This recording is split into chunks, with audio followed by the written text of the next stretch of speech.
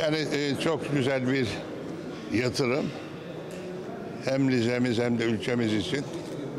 Hatta bölge ülkeleri için. E, Dünya ulaşım bakımından gerçekten Rize Artvin Havaalanı e, çok prestijli bir yatırım.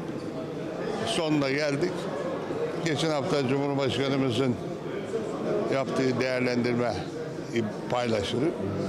İnşallah bir, bir mani olmazsa yani hem gündem konuları olabilir vesaire. Bunlar bu bunu şartı da ifade ederek 14'ünde havaalanının e, hizmete açılışını Cumhurbaşkanımız gerçekleştirecek. E, ve bu havaalanı planlandığı gibi taşıyacağı yıllık yolcu kapasitesi itibariyle e, bir kolaylık sağlayacak insanımıza, hemşerilerimize, e, Doğu Karadeniz'i gezip görmek isteyenlere.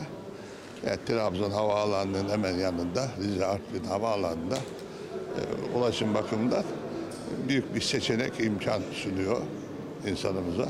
Hayırlı uğurlu olmasını diliyorum. Yani şöyle bir o 10 yıl kadar önce ha- hayali bile edilemeyen muazzam bir tesisi Türkiye'de büyük ölçekte yatırımlar arasında yer alan bir tesisi kısa zamanda tamamlamasını e, hükümetimiz, hükümetlerimiz sağladı. Hayırlı uğurlu olsun diyorum.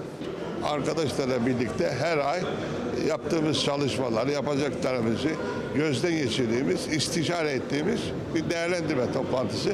Bunda çok faydalı olduğunu görüyoruz.